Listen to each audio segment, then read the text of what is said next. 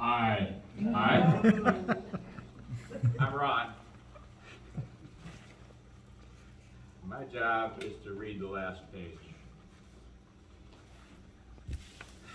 Frida Marguerite Thompson, Ms. Rummel, Rummelhart, was born August 13, 1928 to parents Troy William Rummelhart and Myrtle Celestine Rummelhart, Coleman Rummelhart in Glendon, Iowa.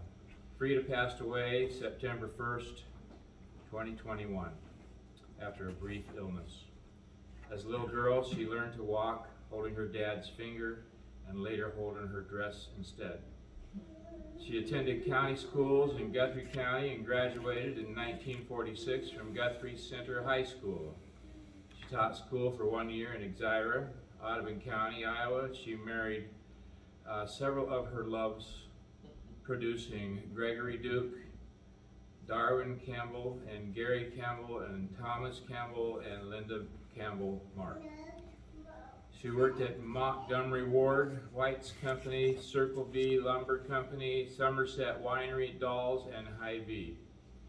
She made her children their own clothes. She made quilts, jewelry, loved to oil paint pictures, loved to dance and play bingo, loved to travel. Thanks, Linda and Ron. She was a fierce competitor at card games, including up and down the river, down the stream, she was very fashionable, frequently adorned in stylish homemade dresses and jewelry. You can see her, some of her stuff over here in the pictures and that hat. She wore that quite a little bit.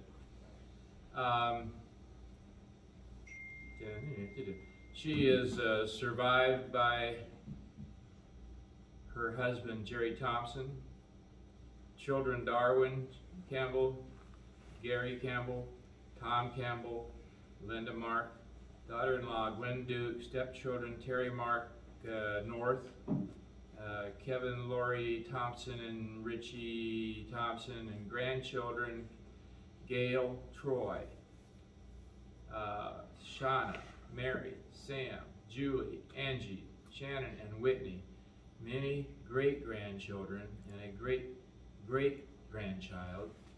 Her siblings, Norma Crandall, Beverly Conley, Jim Rummelhart, Rogers Rummelhart, and her many loved, beloved friends.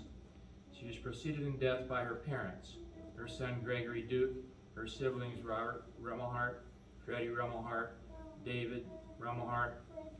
Memorials may be made to the Pink Tractor Foundation of Hospice of Central Iowa.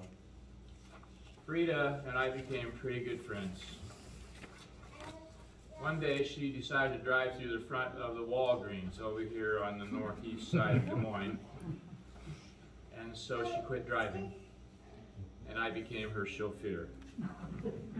So anytime Frida wanted to go someplace, I was available. And we would go out and spend the day doing this, that, and the other. She shopped a lot. But uh, we had a great time. Frida uh, worked for us at Somerset, and then uh, she also uh, helped out a lot with the kids.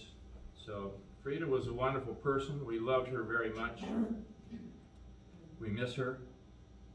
It was sad the last couple of weeks going through this, proposing that she was going to be buried someplace.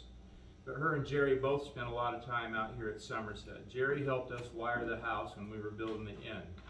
So they were a big part of Somerset. And so they wanted to have ashes sprinkled here today. So we're going to do that a little later.